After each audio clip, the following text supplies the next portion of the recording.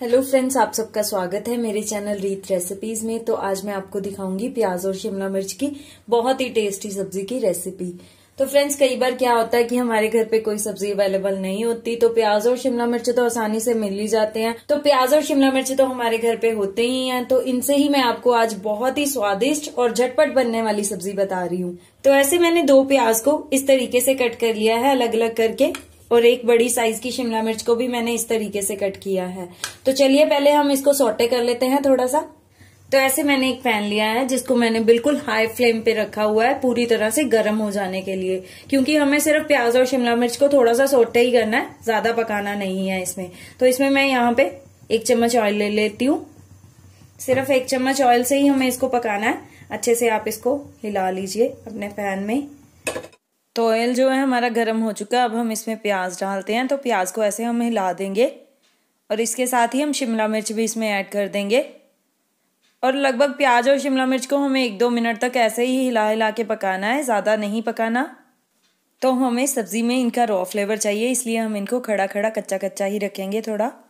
तो ऐसे एक दो मिनट तक हमने इनको पका लिया, अब हम इसको एक प्लेट में निकाल लेते हैं ठंडा करने के लिए। तो प्याज और शिमला मिर्च हमारे फ्राई हो चुके हैं। तो अब हम उसका तड़का रेडी करते हैं। तो तड़के के लिए मैंने ऐसे तीन प्याज लिए हैं नॉर्मल साइज़ के, और दो बड़े टमाटर लिए हैं, जिनके साथ मैंने यहाँ पे एक हरी मिर्च भी ली है। तो सबसे पहले हम इनकी पेस्ट रेडी कर लेते हैं। तो हमने प्याज की अलग से पेस्ट रेडी करनी है और टमाटर और हरी मिर्च की अलग से रेडी करनी है। इनको अच्छे से ब्लेंड करके। तो देखिए, हमारी प्याज की भी पेस्ट ऐसे रेडी हो चुकी है। इसको अच्छे से ब्लेंड कर लिया है हमने और टमाटर और हरी मिर्च को भी अच्छे से ब्लेंड कर लिया है। तो चलिए, अब हम अपना तड़का लगाना शुरू करते हैं। तो ऐसे मैं अपनी कढ़ाई में दो टेबल स्पून ऑयल डाल रही हूँ। यहाँ पे आप कोई भी तेल यूज़ कर सकते हैं। मैं रिफाइंड ऑयल का यूज़ कर रही हूँ।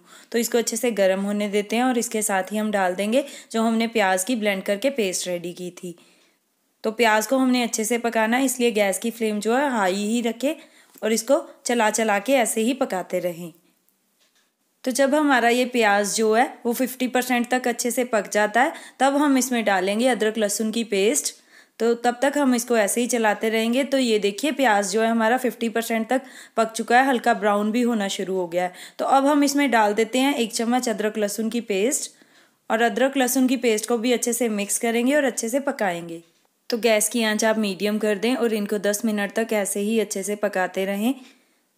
जो प्याज और अदरक लहसुन होता है वो पकने में थोड़ा टाइम लेता है, पाँच से दस मिनट ले लेता है, इसलिए आप इसको पेशेंस के साथ अच्छे से पकाइए। जब तक ये अच्छे से ब्राउन ना हो जाए, तब तक हमें इसमें कुछ भी ऐड नहीं करना है।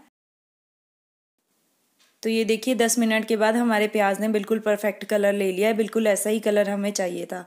और इसमें से भीनी भीनी अच्छी खुशबू भी आ रही है। तो अब हम इसमें टमाटर की पेस्ट जो है वो ऐड कर देंगे और उनको भी अच्छे से ऐसे ही हिला हिला के पकाएँगे। तो ऐसे टमाटर को भी हम एक दो मिनट तक इसी तरीके से चला के पकाएँगे और इसके साथ ही हम इसमें ऐड कर देंगे अपने मसाले।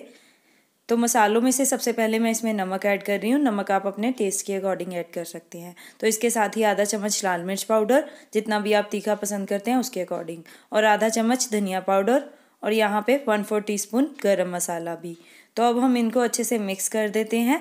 हल्दी हमें इनमें नहीं डालनी है। हमने अपने मसालों को अच्छे से पकाना है। तो ध्यान में रखें, इस सब्ज़ी में हल्दी नहीं पड़ती है और हमें अपने मसालों को अच्छे से पकाना है। और तब तक पकाना है जब तक हमारा ये जो मसाला है वो कढ़ाई ना छोड़ दे।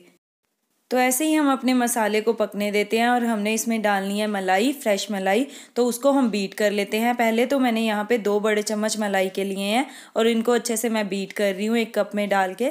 तो अगर आप चाहो तो मलाई की जगह क्रीम भी डाल सकते हो, फ्रेश क्रीम। तो मलाई को हम अच्छे से बीट कर लेंगे ताकि ये स्मूथ बिल्कुल क्रीम के जैसे रेडी हो जाए। ये देखिए बिल्कुल स्मूथ रेडी हो गई है। तो अब हम अपना मसाला चेक कर लेते हैं। तो ये देखिए हमारा मसाला भी पक चुका है और इसने कढ़ाई भी छोड़ दी है। तो अब हम इसमें ऐड कर देंगे अपनी जो क्रीम हमने रेडी की है मलाई की।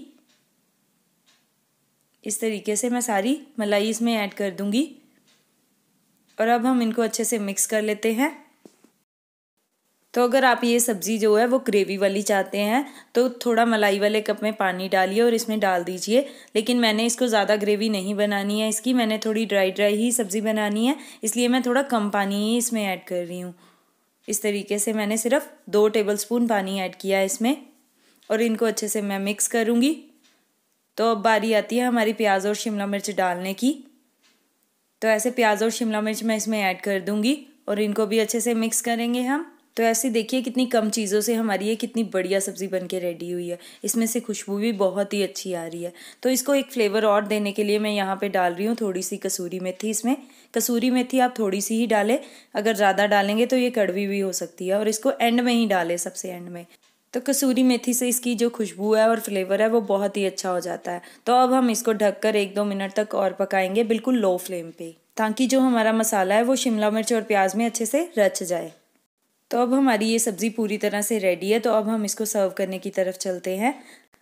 तो आप भी ऐसे ही ये सब्ज़ी बनाइए और खाइए और अपने मेहमानों को घर वालों को, सबको खिलाइए। और मुझे नीचे कमेंट बॉक्स में ज़रूर कमेंट करके बताइए कि ये आपको कैसी लगी।